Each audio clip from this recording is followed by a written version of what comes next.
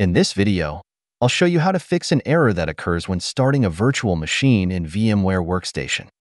This issue usually happens when the host computer loses power while the virtual machine is running. To fix it, navigate to the folder where your virtual machine is stored.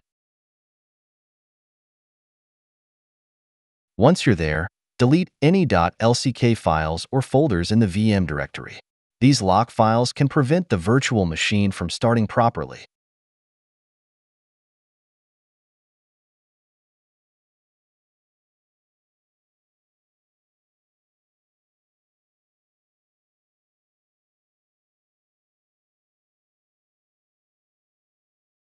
As you can see, once the lock files are removed, the error is resolved, and the virtual machine starts without any issues.